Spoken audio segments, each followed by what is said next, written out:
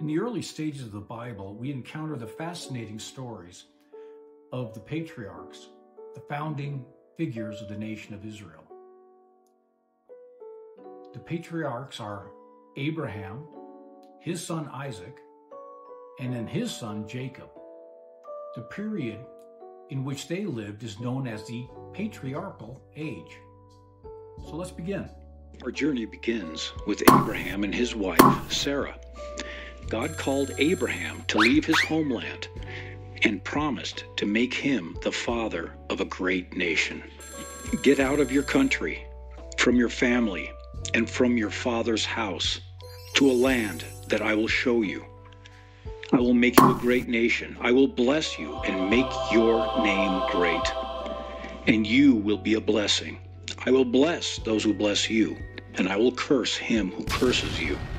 And in you all families of the earth shall be blessed. Abraham was already 75 years old when he, Sarah, and his son's brother, Lot, left their homeland. When Abraham entered Canaan, God told him that his descendants would someday inherit that land. However, there was a famine there, so Abraham traveled to Egypt. Even though his wife, Sarah, was 65 years old at the time, she was apparently very attractive. He was afraid that when the Egyptians saw her, they would kill him and take her. Not trusting God, Abraham concocted a story about Sarah being his sister. The Egyptians did find Sarah very attractive.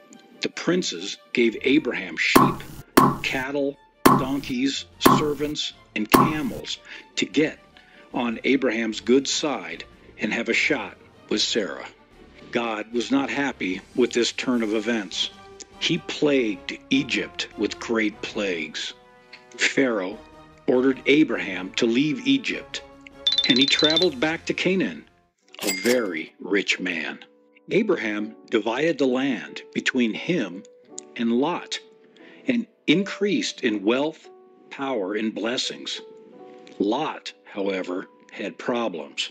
First, an invading army took him captive and plundered all of his possessions. Abraham and 318 trained men rescued Lot, and retrieved all of the possessions taken from the town where he lived, Sodom. Then God, fed up with the sin of Sodom and Gomorrah, which were lawless and sinful places, warned Abraham that he was about to destroy them.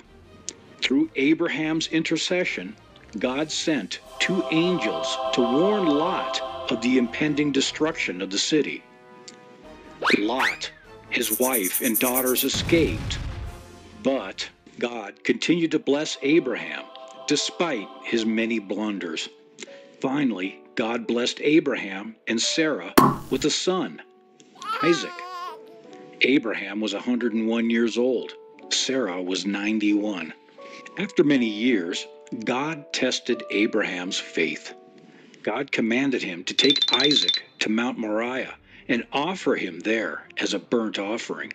Abraham complied, and just as he was preparing to plunge the knife into his God promised son, Isaac, an angel of the Lord and prevented the sacrifice.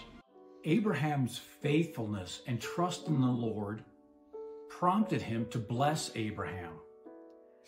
He said, By myself I have sworn, says the Lord, because you have done this thing and have not withheld your son, your only son, blessing I will multiply and, bless you, and multiplying I will multiply your descendants as the stars of the heaven and as the sand which is on the seashore. And your descendants shall possess the gate of their enemies. And with that, we conclude this study on Abraham the first of the patriarchs. So make sure you subscribe in order to learn more about what happens next in our following Bible study.